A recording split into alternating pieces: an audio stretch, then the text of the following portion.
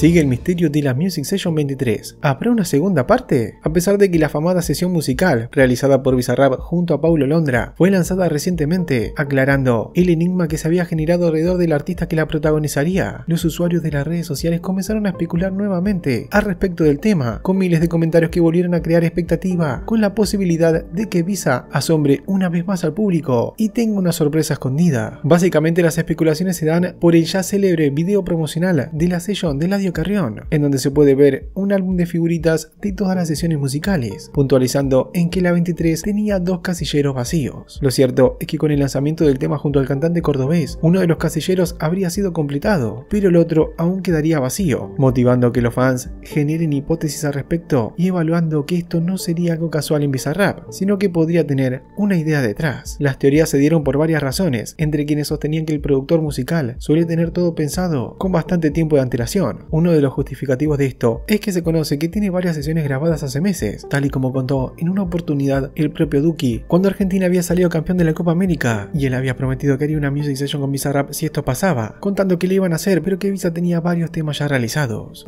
La session de Visa ya, ya lo dije, es algo que no lo teníamos preparado.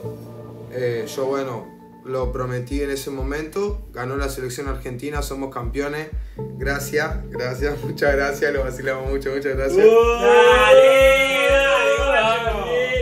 Vamos a hacer la session, pero nada, nos tenemos que juntar a hacerla, cabrón, no es algo que, que yo tenía pensado ni él tampoco. Es tan simple como eso. Él antes de sacar mi session ya tiene session prepactada.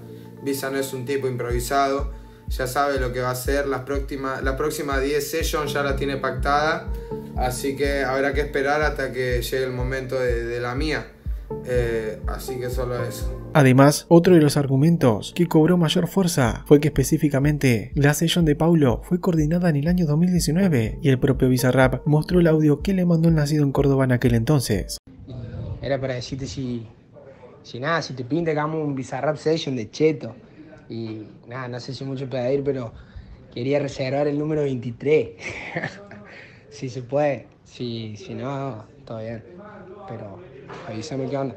Saludos, negro. Por su parte, la chance de que haya un lado B de la session de Paulo comenzó a tener más fuerza al conocerse que el tema que lanzaron ahora ya lo habría escrito hace más de dos años. Esto quedó evidenciado en una publicación hecha por él mismo el 24 de enero del 2020, donde en la descripción escribió parte de la letra que utilizó en la session. Asimismo, un detalle sobresaliente fue que en aquel entonces Litkila le comentó el posteo con una frase de su canción, de manera que el círculo íntimo habría tenido conocimiento de esto. Además, en las últimas horas, el propio Paulo compartió el posteo en cuestión, que fue difundido por un fan, validando aún más esta idea. Ante este descubrimiento las teorías en referencia indicaban que tal vez en esta ocasión sacaron la session que habrían preparado hace tiempo atrás, con los ajustes y retoques efectuados en el presente como la grabación de la misma, y la ilusión creció a la espera de que el casillero 23 del álbum se complete con una segunda edición, pero hecha en la actualidad. Esto se vio potenciado porque en medio del tema, Paulo hace el gesto del número 2 con su mano, y la imagen queda congelada por unos segundos. Hasta hubo quienes deslizaron las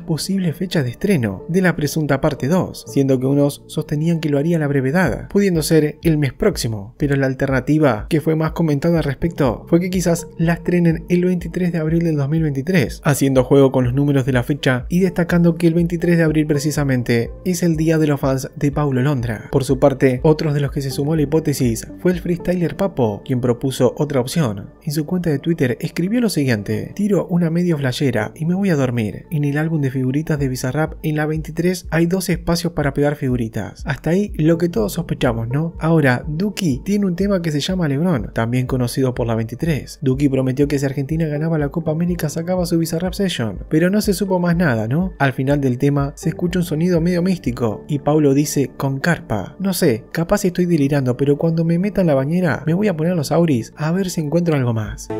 Con carpa.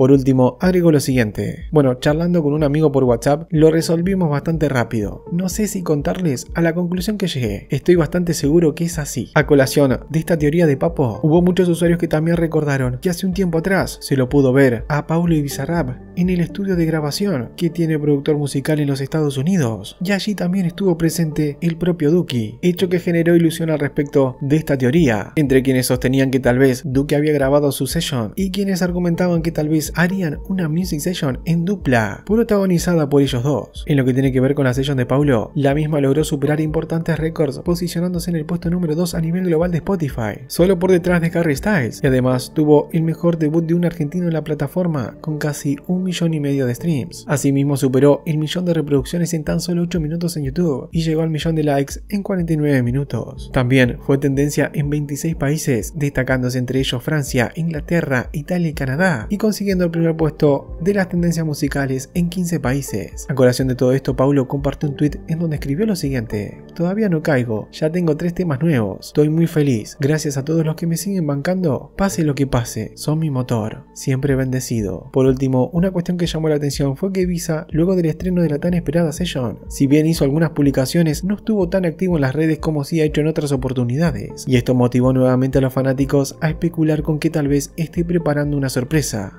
teniendo en cuenta el perfil que ha construido el productor, que suele planificar estrategias de marketing y provocar expectativa entre los fans, además de buscar establecer cierta mística en las producciones que realiza. De todas formas, para tener novedades habrá que seguir esperando por lo menos un tiempo más hasta que se pueda corroborar si efectivamente hay una segunda parte protagonizada por Paulo, por otro artista o si en tal caso no habrá un lado B, aunque de todas maneras la ilusión crece para que efectivamente haya una segunda edición de la Music Session 23.